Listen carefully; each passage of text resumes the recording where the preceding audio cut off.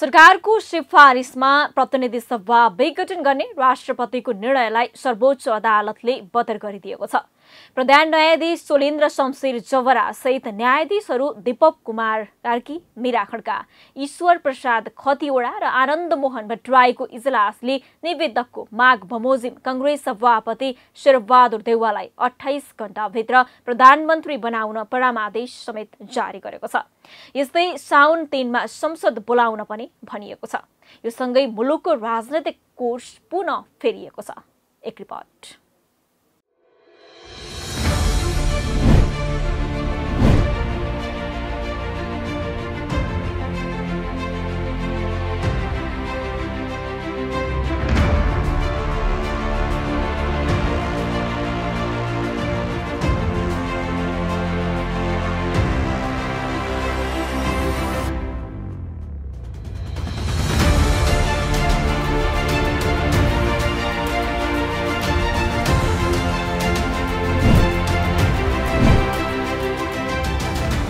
सर्वोच्च अदालतले कङ्ग्रेस सभापति शेरबहादुर देवालाई प्रधानमन्त्री बनाउन परमादेश जारी गरेको छ। प्रधानमन्त्री केपी शर्मा ओलीले जेठ आठ गते दोस्रो पटक गरेको संसद विघटनलाई बदर गर्दै देउवालाई प्रधानमन्त्री बनाउन परमादेश जारी गरेको हो।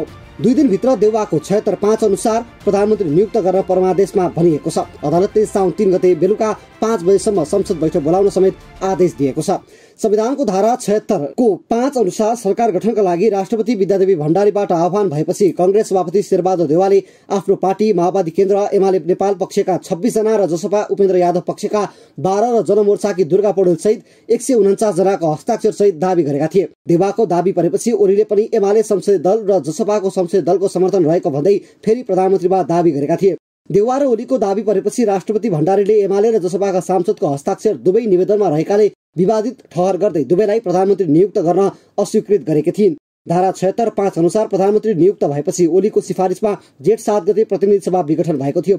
त्यस विरुद्ध एक सय छयालिस जना सांसदले संसद विघटन असंवैधानिक रहेको भन्दै देवालाई प्रधानमन्त्री नियुक्त गर्न माग गर्दै सर्वोच्च पुगेका थिए। अदालतको परमादेशमा के छ?